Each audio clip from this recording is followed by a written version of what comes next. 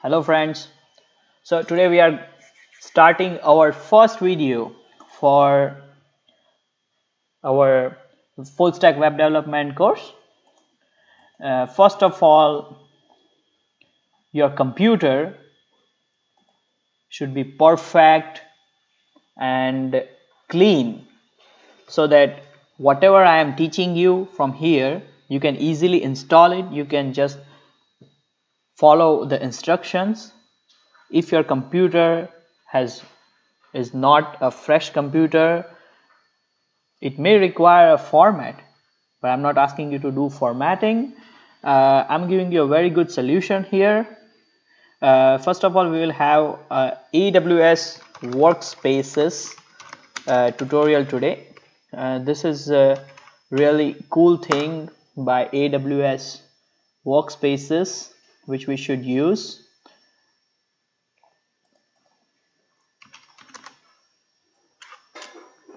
So basically um, getting a cloud-based uh, virtual desktop environment is the best uh, idea to set up all your de development things. And that so here we go uh, AWS workspaces. It's a managed desktop as a service solutions.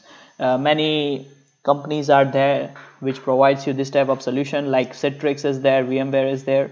Uh, I found this one a good option because in this way you can uh, learn uh, explore something about AWS so what I have done is uh, first of all I went to aws.amazon.com slash workspaces. If you have not created the account you have to just create the account. But here I ha already have an account. Uh, basically I'm not going to show you here how to create an account. It's very easy.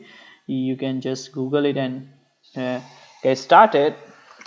So here you search for workspaces. Find services. Uh, different services are provided by AWS one of the services is workspaces. And the great thing about uh, workspaces uh, is that uh, some desktops or some Linux instances you can um, fire up free. Okay? So here you can see one of my instance which has been fired. And it's uh, free. It's a root it has a space of 80 GB and uh, it's a Windows machine. Right now it's disconnected. So how how can we set up a new one? So you just go to launch workspaces and then this is a default directory. You don't need to change it. You just go to next tab. And here you just write the name. For example demo and demo user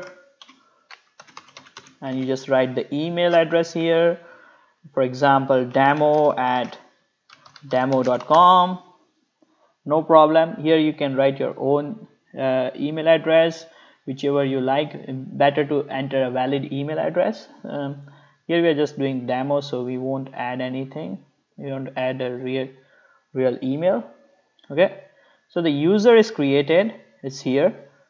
You just scroll down and just click here on the next tab so you can see here that free tier eligible. You can see 4 gigabytes of memory that's called a RAM and 80 GB of the storage. User user gets 50 GB right? So there are many free tiers available here.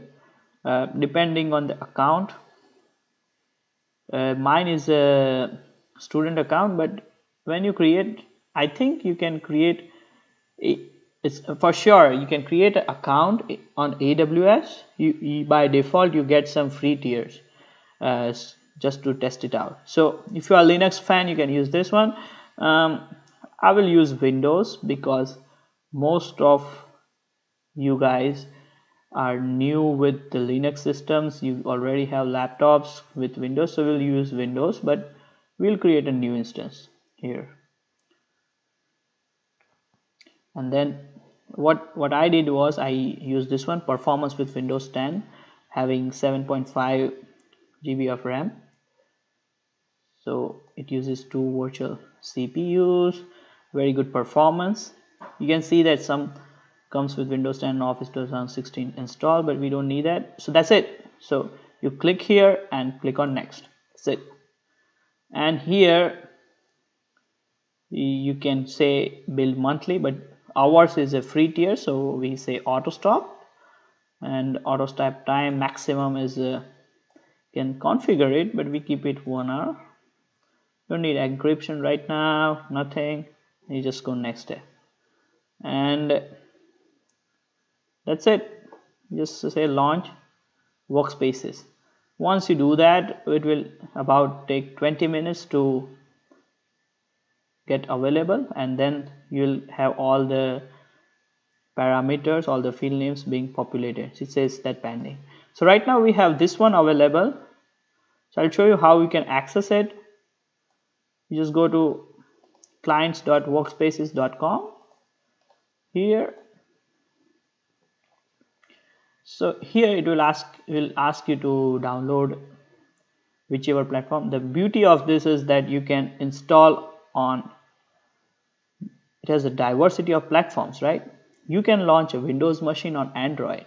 That's that's the beauty of aws and using uh, cloud-based desktops. So right now we have windows machine so we'll download this one. And once you download it you can just set it up next next and then finish. And then what you're going to get is this thing. You'll get amazon workspaces in your as a as a desktop application on your computer. So i'll go back and return to my login page just to show you how is it.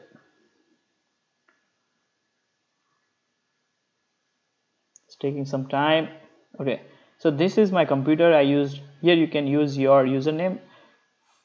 For example demo here I have used Radhey my name and then your password and boom. Just sign in. Uh, during initial configuration it will it will ask you for the registration code is pretty self-explanatory. You have to enter this and after that you will be prompted to ask uh, username and password. That's it. So once this is done you will be able to launch your workspace in cloud. So that's all for now. Uh, I'll be showing you once again how to um, access the computer and then we'll start our journey for full stack web development. Thank you guys. Take care